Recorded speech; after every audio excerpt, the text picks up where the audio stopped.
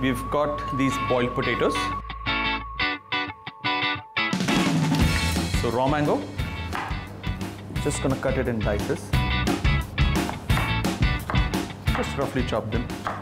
So people like me who hate cutting and all, can we use a food processor? Definitely you can.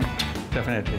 This is a I mean, machines, I always believe, uh, uh, are there to help you. You should use as much as possible, but I'm just a little old fashioned. Uh, I like the good old knife, the cuts. I enjoy cutting. I'm good with compromising. this is too much work. I need to show you speed then. Oh, Maybe I'm faster than the processor and more accurate. off. All right. I will take a little bit of garlic.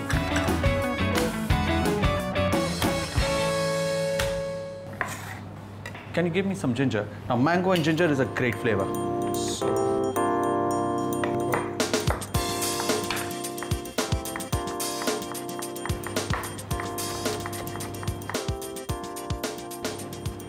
I'm gonna add some oil.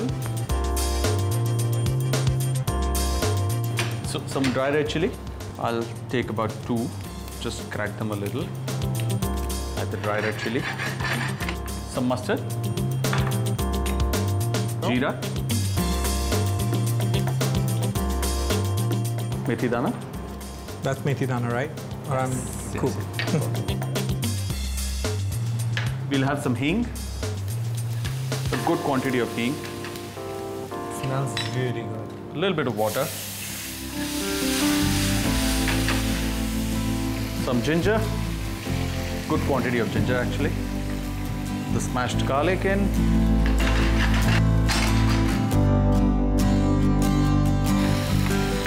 So I'm gonna add the raw mango.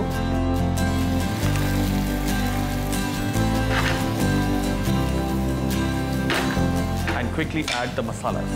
Masalas will be turmeric to begin with, red chili powder,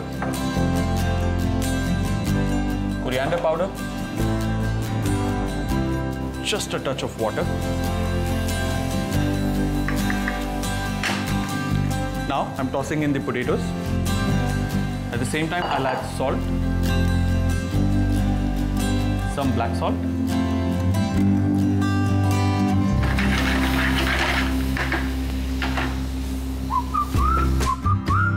All right, uh, some curry patta. Yeah. Now the next step, I'm gonna add some mango juice. In it goes. So how much juice have you added? Half of it. Yeah. So it all depends upon how sour your raw mangoes are.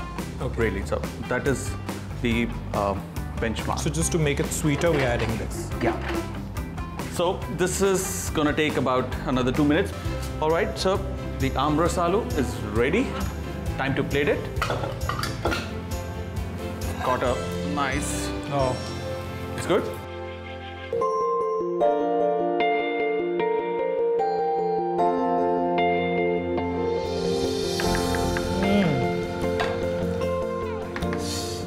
Explain this? I have no words to actually describe it. It's sweet, sour, it has this pungent flavor at the back. Mm-hmm. Wow.